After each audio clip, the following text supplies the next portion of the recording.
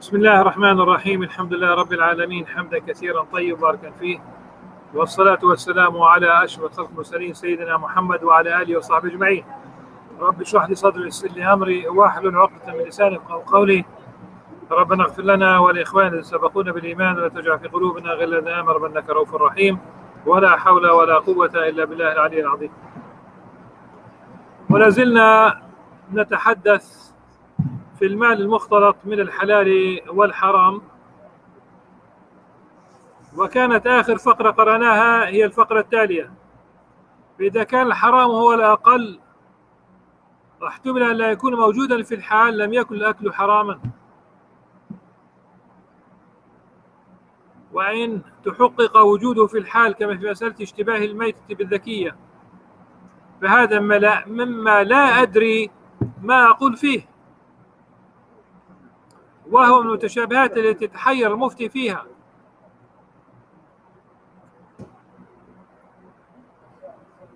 لأنها مترددة بين مشابهة المحصور وغير المحصور والرضيعة إذا اشتبهت في قرية فيها عشر نسوة وجب الاجتناب وإن كان فيها عشرة ألاف لم يجب. وبينهما أعداد لو سئلت عنها والكلام لا زال الإمام الغزالي رحمه الله قال لكنت لا أدري ما أقول فيها. وبينا في الأمس قضية الرضيعة يعني أن الرجل وهو صغير وهو طفل يكون قد رضع مع طفلة أخرى من بيت آخر وتكون مجهولة بالنسبة له. فإن كان في بلدة صغيرة لا يوجد فيها إلا عشر نسوة فيجب عليه اجتناب الزواج من هذه البلدة هكذا الفتوى. أما إذا كان من مدينة كبيرة جدا فيها عشرة آلاف من النسوة أو عشرة آلاف من النسوة ف أو عشرة آلاف حقيقة ف لا يجب عليه الاجتناب. ثم يضرب المثال التالي هنا لم نقرأ بالأمس ولقد توقف العلماء في مسائل أوضح من هذا. إذ سئل أحمد بن حنبل رحمه الله عليه عن رجل رمى صيدا يعني رماه بحديدة رماه بسهم فوقع في ملك غيره بعد أن أصابه وقع في ملك الغير. أرض فلان عندك أرض أو أرض مشاع. فأصبت الظبية مثلا ثم وقعت في أرض الغير. قال في السؤال أيكون الصيد للرامي أو لمالك الأرض؟ يكون الصيد للرامي أو لمالك الأرض. فقال لا أدري. وهو من هو؟ الإمام أحمد. فقال لا أدري. فروجع فيه مرات فقال لا أدري.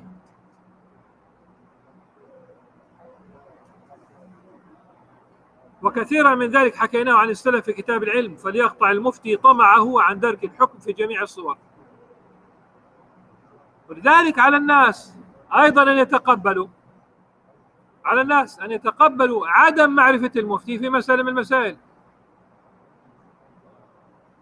يعني مشكلة إذا خرج الإنسان على الشاشة وكل ما سئل لديه جواب لديه جواب يعني لعله ين... إن شاء الله الحمد لله رب العالمين. لكن لا بأس أن يقول آتي بالجواب مثلا المرة القادمة بإذن الله عز وجل في الحلقة القادمة. لا بأس أن يقول لا أدري مثلا.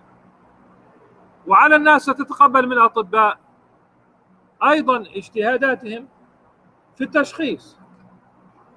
يعني يجتهد الطبيب لأول مرة ويقول لك عد بعد ثلاثة أيام. مثلا أنت قد تفكر يريدني يريد مني العودة من أجل أن يأخذ كشفية أخرى ويريد لك العودة حتى يتأكد من التشخيص ومن الدواء. واضح؟ وبعضهم ما شاء الله يعني في المرة الأولى يحكم بظاهر المسألة على ما هي عليه ثم تعود إليه فقل أبدا الآن هذه بحاجة إلى تخصص أو بحاجة إلى مستشفى إلى آخره. ليس لأنه لا يعلم بل لأنه يعلم. بل لأنه يعلم. لكن الناس يعني عادة لا يعدلون لا مع الطبيب ولا مع المفتي في المواقف. وقد سأل ابن المبارك صاحبه من البصرة يعني. وقد سأل صاحب ابن المبارك ابن المبارك هي معنى الكلام. يعني المفعول به قدم في هذه الحالة. وقد سأل ابن المبارك صاحبه من البصرة عن معاملته قوما يعاملون السلاطين فقال إن لم يعاملوا سوى السلطان فلا تعاملهم. وإن عاملوا السلطان وغيره فعاملهم. يكون المال خليطا بمعنى هنا في هذه الحالة. ومرة أخرى نقول كل مثل هذه كل المسائل مثل هذه تعتبر بسياقها تعتبر بسياقها التاريخي إلى آخره. وهذا يدل على المسامحة في الأقل ويحتمل المسامحة في الأكثر أيضا. ويحتمل المسامحة في الأكثر أيضا. وبالجملة فلم ينقل عن الصحابة أنهم كانوا يهجرون بالكلية معاملة القصاب والخباز والتاجر لتعاطيه عقدا واحدا فاسدا. أو لمعاملته سلطان مرة وتقدير ذلك فيه بعد والمسألة مشكلة في نفسها. فإن قيل فقد روي عن علي بن أبي طالب رضي الله عنه أنه رخص فيه وقال خذ ما يعطيك السلطان فإنما يعطيك من الحلال وما يأخذ من الحلال أكثر من الحرام. وسئل ابن مسعود رضي الله عنه في ذلك فقال له السائل إن لي جارا لا أعلمه إلا خبيثا. يدعونا يعني إلى طعام أو نحتاجه فنستسلفه. فقال إذا دعاك فأجبه. مرة ثانية. الجار ما له صفته. خبيث. يعني فيه فساد. قال يدعونا يعني إلى طعام. أو نحتاج فنستسلفه. دينا. فقال إذا دعاك فأجبه وإذا احتجت وإذا احتجت فاستسلف فإن لك المهنة وعليه المأثم. أنت لست عليه لا يزوج عليك شيء. وإذا كان هنالك يعني تكون الذنوب على صاحبها. يعني إذا كان من مصادره شيء من الحرام فعليه الذنب وأنت ليس عليك شيء. وأفتى سلمان رضي الله عنه بمثل هذا. وقد علل علي رضي الله عنه بالكثرة وعلل ابن مسعود بطريق الإشارة بأن عليه المأثم لأنه يعرفه ولك المهنة أي أنت لا تعرفه. وروي أنه قال رجل لابن مسعود رضي الله عنه إن لي جارا يأكل الربا فيدعونا إلى طعامه أفنأتيه؟ فقال نعم. فقال نعم. يعني هنالك من يشدد وهنالك من لا يرى بأسا. يعني فلان عليه اسم المصدر إن كان حرام وأنت ليس عليك شيء في تلبية دعوة الطعام. إن لم تلبي أمر محمود إن لم تلبي الدعوة ليس عليك شيء. أنت حر حتى لو كان طعامه الأصل فيها إجابة الدعوة. الأصل فيها إجابة الدعوة. لكن الناس تدعى في مثل هذه الأيام موسم قد تدعى لي عدة ولائم في نفس اليوم في نفس الساعة من بعد صلاة الجمعة. وليمة فلان في العزري وليمة فلان في الرام وليمة فلان في رام الله. أو في كفر عقب ولا اللي هو ولا أين ستذهب؟ وهل يعقل أنك تذهب لهذا وهذا وهذاك؟ وعندك ال... عندنا مفهوم الواجب أكثر من واضح؟ لا والله ما هذا لا أنا قصدي انه إنه هو ماكله حرام. حرام إحنا قلنا حتى لو حلال حتى لو حلال إن اعتذرت لك هذا الأصل فيها الإجابة ولكن اعتذرت إلا إذا لك هذا إلا إذا كنت عارف إنها هو لم يصنع هو لم يصنع لك طعام لم يصنع لك طعام وقال لك تفضل يعني أنت ما دخلت على. الجار دخلت على الجار تتباحث في مسألة إيش؟ إعادة ترتيب الحي والبنية التحتية في الحي ومخاطبة البلدية وكذا إلى آخره. في الأثناء تتحدث معاه كان قد طلب من يعني من أهله إيش؟ أن يحضر الطعام. فحضر الطعام فدخل أدخل الطعام. السنة أن تلبي. بل لو كنت صائما نافلة ممكن أن تأكل وتعوض ذلك يعني تصوم يوما بدل بدل يوم. واضح؟ يعني هو إيش تغلب و...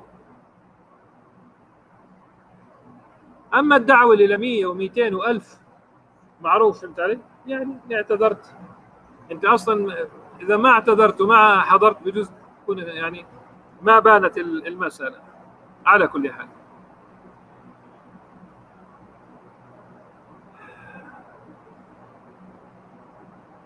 أما ما روي نعم.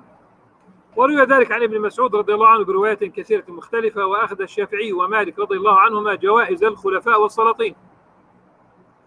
مع العلم بأنه قد خالط ما لهم الحرام.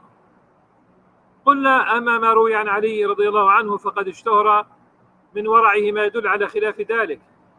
فإنه كان يمتنع من مال بيت المال ولا يأكل منه حتى إنه أمر ببيع سيفه.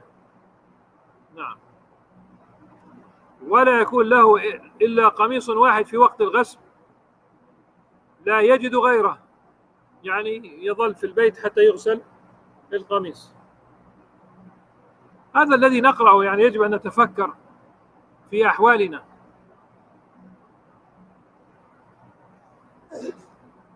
واضح؟ يعني حينما نقرأ عن رسول الله صلى الله عليه وسلم هو السيدة خديجة رضي عنها أنه مر بهما شهران لم يتناولا فيها إلا الأسودين التمر والماء إلا منحة لبن من بعض الصحابة الكرام. يعني نتفكر في هذا الخير العميم الذي لدينا. سبحان الله. فلنوسع على قلع الفقراء ولنقول الحمد لله. يا رب لك الحمد لك الشكر. همة عالية مع ضيق ذات اليد همة عالية مع ضيق ذات اليد. ولا شكوى ولا شكوى. سبحان الله. ألم يخرج أبو بكر الصديق رضي الله عنه من الجوع من بيته؟ ولم يخرج عمر في نفس الليل رضي الله عنه؟ سيدنا أبو بكر سيدنا عمر. وخرج الرسول عليه وسلم لنفس السبب. سبحان الله. يربط الحجر على بطنه من شدة الجوع.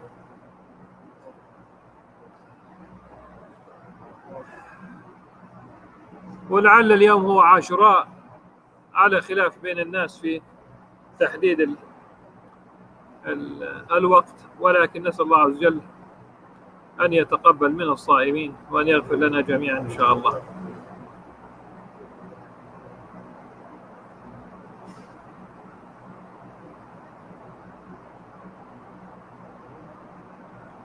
قال الإمام الغزالي رحمه الله ولست أنكر ولست أنكر أن رخصته صريح في الجواز وفعله محتمل للورع للورع ولكنه إن صح. فمال السلطان له حكم آخر فإنه بحكم كثرته يكاد يلتحق بما لا يحصر.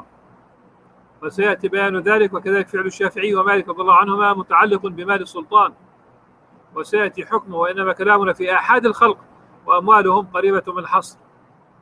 وأما قول ابن مسعود فقيل إنما نقله جواب التيمي. وإنه ضعيف الحفظ والمشهور عنه ما يدل على توقي الشبهات إذ قال لا يقولن أحدكم أخاف وأرجو. فإن الحلال بين والحرام بين وبين ذلك أمور مشتبهات. فدع ما يريبك إلى ما لا يريبك. وقال اجتنبوا الحكاكات فإن فيها الإثم. مثل الحواز حواز القلوب حزاز.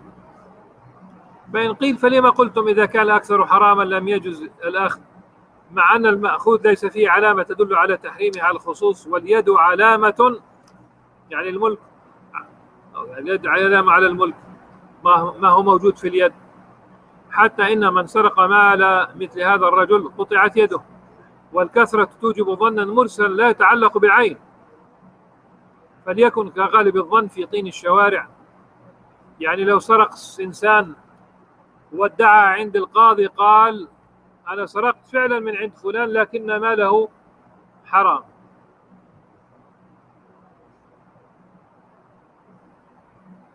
هل يقبل القاضي بهذه الحجة؟ لا هذه سرقة. هذه سرقة. والكثرة توجب ظنا مرسلا لا يتعلق بالعين فليكن كغالب الظن في طين الشوارع وغالب الظن في الاختلاط بغير محصور. إذا كان الأكثر هو الحرام ولا يجوز أن يستدل على هذا بعموم قوله صلى الله عليه وسلم دع ما يريبك إلى ما لا يريبك. يعني حقيقة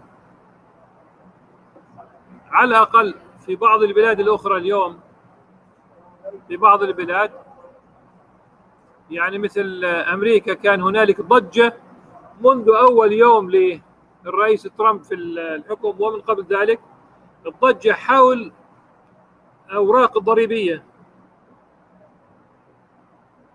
كل إنسان في أمريكا يجب أن يعبئ في نهاية السنة المالية.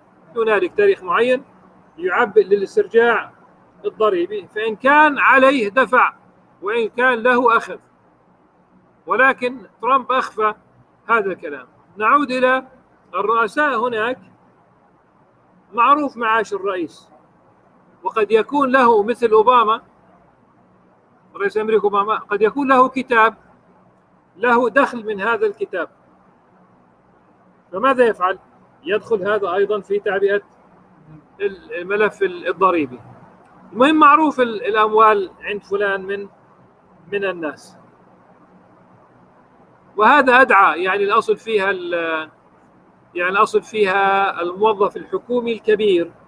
ما بنقول عن موظف بريد وموظف رجل إطفائية الموظف الموظفون الكبار يعني الأصل فيها أن يكون هنالك شفافية ويكون معروف لدى الناس.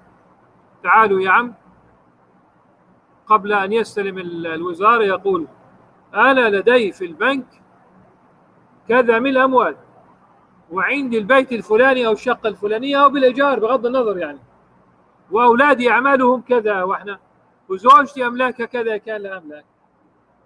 إحنا هذا اللي موجود. لأنه إذا طلع بعد يومين ثلاث إنه أصبح لديه خمس بيو خمس بيوت وأصبح لديه من الشقق كذا ومن العمارات كذا ومن السيارات كذا ومن الأموال في البنوك المصارف الخارجية في البلاد الفلانية. طب أنت معاشك؟ يعني حتى لو وصل معاشك مثلا 3000 دولار ولا خمسة وكذا إلى آخره أو 5000 أو اللي هو. حتى مع خمسة ب 12 شهر هاي ستين ألف. فإذا كان هنالك ملايين فجأة في بعض المصارف ولم ترث ولا يعرف لك إذا لابد من الشفافية. وليعلم الموظف الكبير أن عين الناس عليه بدون الواسطة. صح ولا لا؟ شفافية. ريح حالك ريح. ريح الناس من هذه القضية. قلنا كل موظف كبير كل موظف كبير. وكيل وزارة وزير مدير عام موظف كبير يعني عامة. الأصل فيها الشفافية.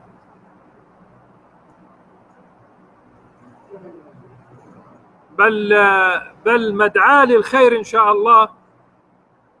فنلندا قد تكون أول دولة في العالم تتخلص من الأموال التي تمسك باليد. ما بفكروا بيشتغلوا في المسألة هذه. ليه؟ إيه؟ الباص القطار الطائرة التذكرة الأثاث البيوت كل هاي عندك البطاقة. مثلا ترى أنت تحرك الأموال. تعرف صحيح؟ قال بعضهم قال بعضهم أمس ليلا أحدث آه من أحدثه بال أحد أفراد العائلة في قضية فنلندا والتخلص من الأوراق المالية وطبعا العملات المعدنية. قال هذا خبر سيء. للفقراء الذين بلا مأوى اللي عايشين على قارعة إيش؟ الطريق هذا خبر سيء لأنه هذا ممكن تعطيه أنت إيش؟ القرش والدينار والنصف الدينار والعشر قروش صح ولا لا؟ قلت له فنلندا تخلصت من قضية الذين بلا ماء والذين يعيشون على الطرقات سمعتوا اشتروا لكل واحد شق واضح؟ ذهبت رئيس الوزراء يوم من الأيام وجلست يوما جلست يوما على قارع الطريق حتى تشعر بشعور هؤلاء الذين بلا بلا مأوى. سيدنا عمر بن الخطاب رضي الله عنه يخاف أن تعثر بغلة في العراق وكأنهم يطبقون شيئا لعل البعض يفتقد هذا الخلق. نعم.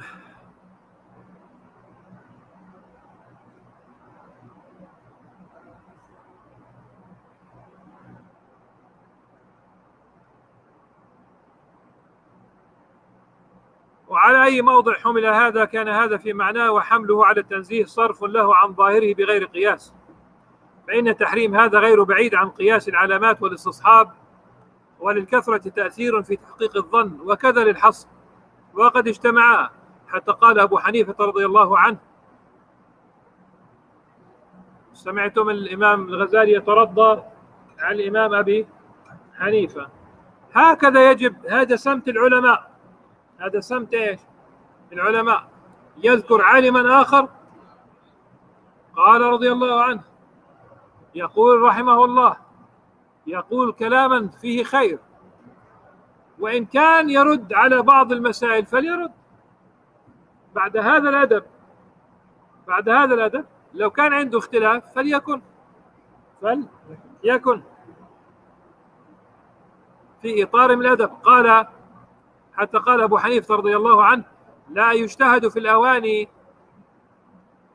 إلا إذا كان الطاهر هو الأكثر فاشترط اجتماع الاستصحاب والاجتهاد بالعلامة وقوة الكثرة. لا يجتهد في الأواني حيث مظنة أن بعض الأواني ليست طاهرة. والطاهر من الكثرة. الطاهر هو الكثرة. ومن قال يأخذ أي آنية أراد من غير اجتهاد بناء على مجرد استصحاب فجوز الشرب أيضا فيلزمه التجويز ها هنا بمجرد علامة اليد. ولا يجري ذلك في بول اشتبه بماء. إذ لا استصحاب فيه ولا نطرده اضطرادا يعني. أيضا في ميتة اشتبهت بذكية إذ لا استصحاب في الميتة. إذ اليد لا تدل على أنها غير ميتة وتدل في الطعام المباح على أنه ملك. فها هنا أربع متعلقات استصحاب وقلة في المخلوط أو كثرة وانحصار أو اتساع في المخلوط به. وعلامة خاصة في عين الشيء يتعلق بها الاجتهاد. فمن يغفل عن مجموع الأربع ربما يغلط فيشبه بعض المسائل بما لا يشبهه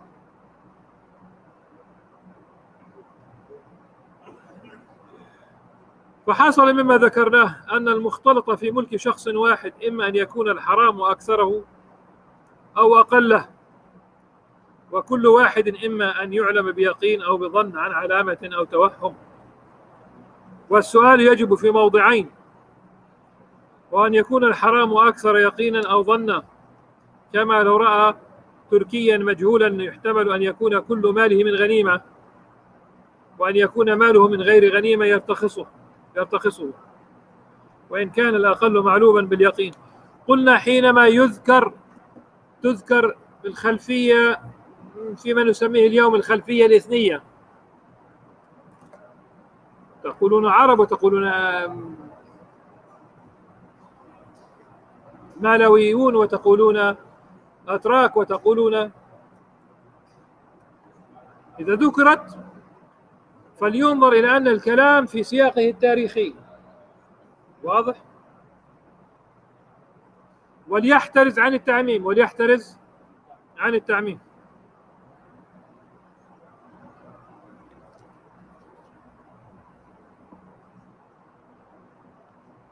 يعني مثل ذلك الذي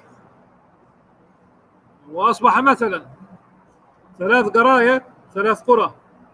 ما فيه نهبة ريح يعني لا يوجد فيها ضيافة للغرباء. سلوان والطور والعيزرية. أما أهل أبو ديس فالصبابين السمن على الإيطالية. يعني في تحلية من بعد ال... من بعد الطعام. وأنا من سلوان فيجوز لي إني إيش؟ أذكر المسألة. لكن في نفس الوقت أذكر شخص واحد مر بثلاث قرى يومها ما في ولائم وما في لما وصل ابتيس يبدو في وليمة واطعموه سلوان والطور العيزريه فهو عمم عمم سوى صفحة ثلاث قرى. طول مدى التاريخ يعني؟ أو حينما قالوا في المثل جاي يبيع السلق على أهل سلوان لم يعد هنالك زراعة للسلق ولكن المثل يظل إيش؟ قائما. مكان السلق هذا هو بالضبط البستان وكل قصة الهدم. كل قصة الهدم هاي هي في المكان الذي يزرع فيه كان يزرع فيه إيش؟ السلق وغير السلق شجر الديفور وغير ذلك. وللعلم بعد فرصة إنه إيش؟ ينبه. أستاذان من أساتذة أساتذة علم الآثار في جامعة تل أبيب. من اليهود. الإسرائيليين.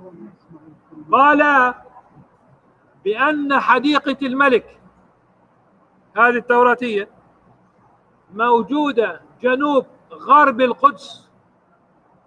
تعرفون حديقة الجرس؟ ظلك لك ماشي باتجاه الواد هناك لفتة شمال غرب نتحدث جنوب غرب. يعني في طريق الطريق إلى المالحة الطريق إلى المالحة. قال الحديقة هناك. ما لها علاقة بوين؟ ما لها علاقة بالبلد القديم ومحيط البلد القديم؟ واضح؟ والخبر لا زال موجود على الإنترنت لكن باللغة الإنجليزية.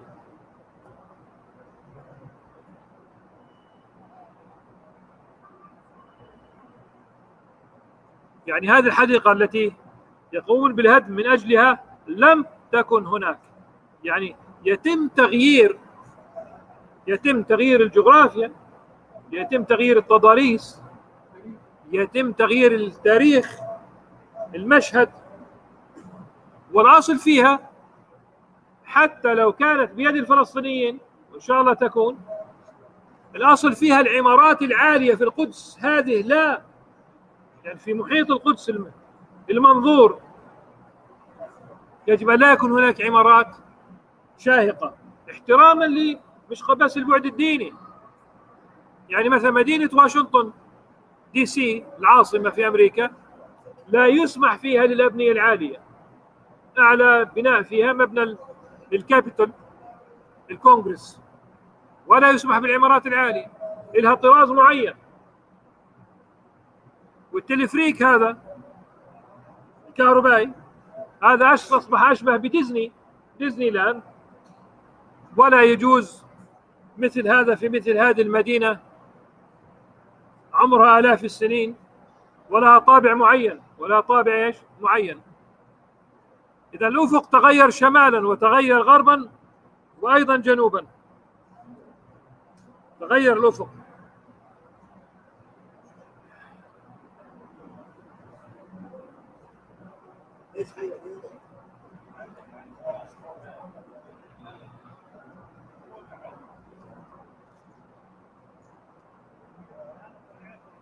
إذا قلنا يبتعد عن التعميم في مثل هذه الحالة. وإن كان الأقل معلوما باليقين فهو محل التوقف. وتكاد تشير سير وأكثر السلف وضرورة الأحوال إلى الميل إلى الرخصة. وأما الأقسام الثلاثة الباقية فالسؤال فيها غير واجب أصلا. مسألة لا زال وقت. هنالك دقيقتان أو ثلاث والمسألة هذه آه، فقرة واحدة قصيرة. قال في من علم وجود حرام في يد ثم جهل هل بقي منه شيء أم لا؟ ذكرت من قبل بصيغة أخرى إذا حضر طعام إنسان علم أنه دخل في يده حرام من إدرار كان قد أخذه أو من وجه آخر. ولا يدري أنه بقي الآن أم لا. ذاك الحرام. فله الأكل ولا يلزمه التفتيش وإنما التفتيش فيه من الورع ولا علم أنه قد بقي منه شيء. ولكن لم يدري أنه الأكثر من الأقل فله أن يأخذ بأنه الأقل. وقد سبق أن أن أمر الأقل مشكل وهذا يقرب منه. فلان عرفت إنه وصلته مثلا إنه عندك لا يجوز له أن يأخذ ذاك المال. عندك أنه حرام. أو هو حرام. ولا تعلم إن بقي منه. ليس في يوم ليلة. بعد سن زمان سنة من الزمن كان هنالك وليمه لعرس ابن الرجل. ولا تدري إنه بقي من ذلك المال حرام شيء أم لا. فليس مطلوبا منك التفتيش إذا بقي منه أم لا. الله أكبر الله أكبر. سبحانك اللهم وبحمدك. نشهد أن لا إله إلا أنت نستغفرك ونتوب